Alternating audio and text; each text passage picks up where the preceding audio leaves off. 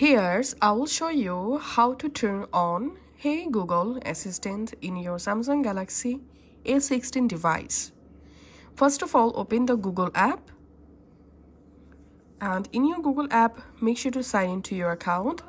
Now tap on your profile photo. Tap on settings.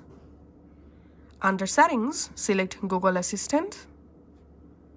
Here, go down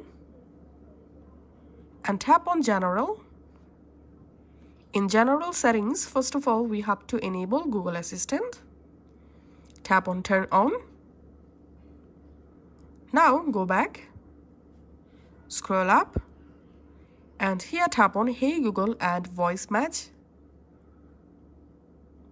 And enable Hey Google.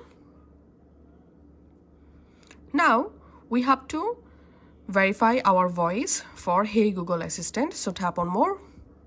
I agree. Tap on more. I agree.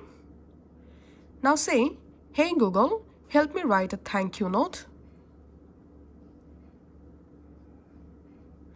Hey Google, what's the weather tomorrow? Hey Google, explain how a rainbow is formed. Okay Google, set a timer for 5 minutes.